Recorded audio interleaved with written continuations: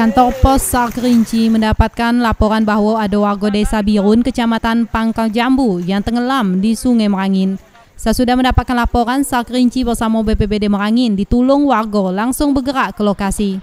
Berdasarkan keterangan yang didapatkan, korban atas nama Mahmud, 55 tahun, warga desa Birun, Kecamatan Pangkalan Jambu. Waktu itu korban sedang nurunkan pinang dari dalam perahu. Namun ternyata korban lupa ngebat perahu. Arus yang cukup deras langsung anyutkan perahu korban dan terkalik. Berniat menyelamatkan perahu, korban langsung anyut terbawa arus.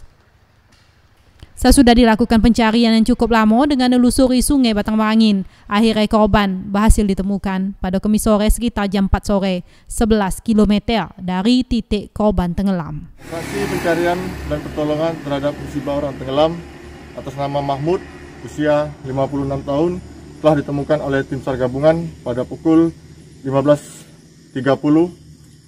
Korban dinyatakan MD dan telah diserahkan ke rumah Lut. Hidayat, Jambi TV.